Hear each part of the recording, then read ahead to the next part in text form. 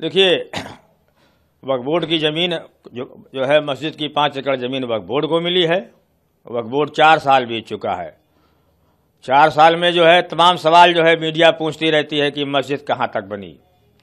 हम तो यही देखते हैं कि वक्फ बोर्ड के चेयरमैन हैं, ज़फ़र फारूकी हैं, वो केवल नक्शा दिखाते रहते हैं। जो वो धर्म के विपरीत है। हर धर्मों की, हर धर्मों की एक पहचान है। हर धार्मिक स्थल की एक पहचान है। लोग उनको चाहिए कि जो काम करना हो वो करें और जो, और जो है नक्शा दिखाने से जो नक्शा दिखाने से काम नहीं चलेगा। आपकी उस पर क्या राय है मस्जिद को लेकर कि मस्जिद क्योंकि हाँ, बयान आपका ही है जो सोशल मीडिया पर है कि मस्जिद की जगह वो फ़ार्मिंग के लिए खेती के लिए ज़मीन दे देनी चाहिए तो इसको क्लियर कर दीजिए एक बार। देखिए ज़फ़र फारूकी खुद वो जो है बोर्ड के चेयरमैन है जो उनके समझ में आया वो करें हमारा जो है कोई निजी कोई राय नहीं अब जो जो जो जो भी राय देना था हम दे चुके अब हमारा जो है स्टैंड यही है कि उनको ज़मीन मिली है, उनका प्राइवेट ट्रस्ट है। अब वो कब बनाते हैं, कब नहीं बनाते, ये हमारी कोई ज़िम्मेदारी नहीं। हमारा मसला अयोध्या तक रहा।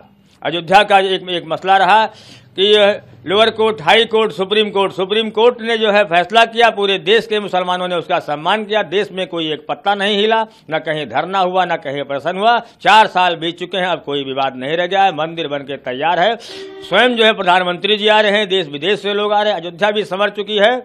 और लोग देखने, जो है देखने के लिए, लोगों को दर्शन करने के लिए उत्साह भी है कि हम चलेंगे अयोध्या, और भगवान राम का दर्शन भी जो है करेंगे, और भगवान के बताए हुए रास्ते में चलेंगे। सबसे बड़ी अहम यही बात है कि लोग अयोध्या आए और भगवान के बताए हुए रास्ते पर लोग चलाएँ